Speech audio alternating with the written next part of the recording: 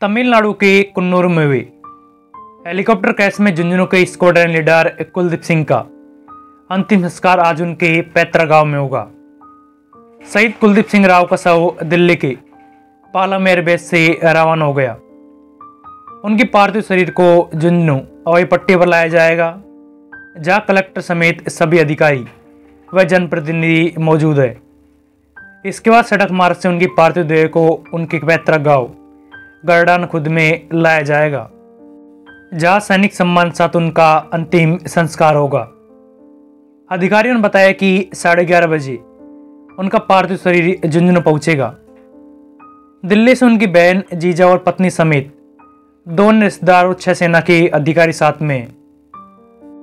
वही आपको बता दे शहीद हुए कुलदीप सिंह। साल 2014 में इंडियन एयरफोर्स में भर्ती हुए थे। शहीद हुए कुलदीप सिंह राव का पूरा परिवार देश सेवा कर रहे। इनके दादा कृपराम राव भी भारतीय सेना में रहे। इसके बाद इस परंपरा को इनके पिता रणदीप सिंह राव ने आगे बढ़ाया और वे भारतीय नौसेना में शामिल हुए। दादा और पिता की परंपरा को निभाते हुए शहीद की बहन अभिता राव साल 2012 में इंडियन कोस्ट गार्ड में सहायक कमांडेंट बनी थी।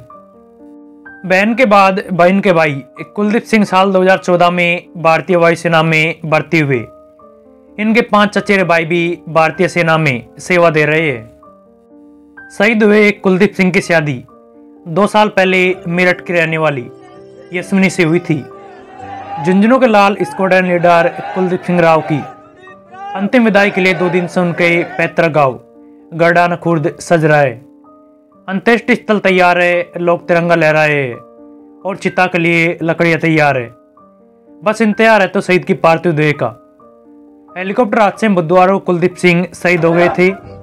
शहीद हुए कुलदीप सिंह के शव को। दिल्ली के पालम एयरबेस से उनके पैतरा गाँव गरडाना खुद में लाया जा रहा है।